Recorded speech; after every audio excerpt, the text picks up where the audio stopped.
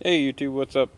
So I decided to make another video, something I, I kind of learned since working at the auto parts store. Um, one thing is I need to clean my engine bay, it's getting kind of dirty in here. And anyhow, it's about charging your batteries here. Of course, here's your battery on my car is over here. Yours probably located in a different spot.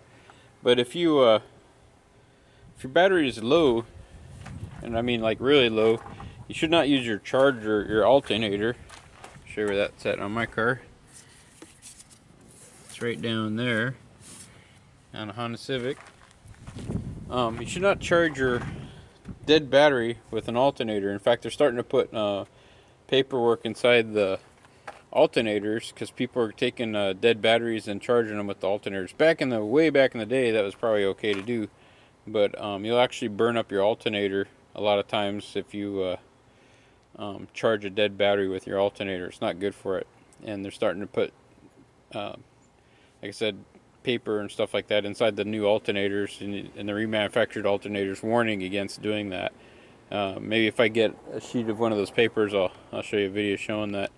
So that's just a tip. If your battery is dead, you need to um, use a battery charger on it, charge it up. And you can, most auto parts store will charge your batteries for free. So you should take your battery in, get it charged up, and then put it in.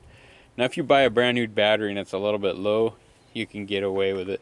Um, but you don't want to have it, you know, like let's say you left your car lights on and your battery's dead, dead. You shouldn't really stick it in there and make your charger or your alternator charge that up because it's not, apparently it's not designed to do that anymore. And like I said, starting to, um, if you got caught, which would be hard to prove, if you got caught doing that, they would not warranty out your alternator for you because you're not supposed to charge a dead battery with it.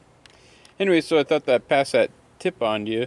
So if your battery is uh, dead, get it charged. Don't let your car do it for you. And I gotta say, I'm kind of guilty of doing that before. Um, I don't think I've done a really dead battery, but anytime, it's probably just about everybody's jump started a car, and that battery got jump started because it was too dead to start the car. If that's the case, it's probably too dead to uh, be driving around on. You might end up burning up your alternator also. I think it throws out the um, the voltage regulator.